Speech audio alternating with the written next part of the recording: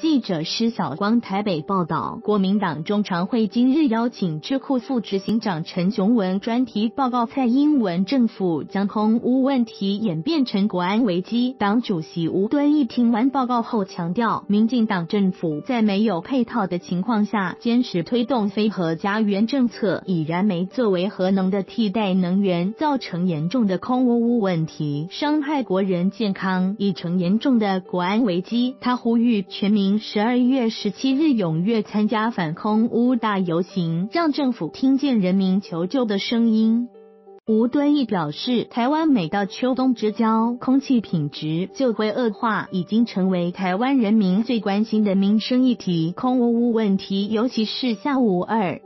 五，已经被世界卫生组织认定为致癌物质。近年国人肺炎罹患率升高，与空气污染问题脱不了关系。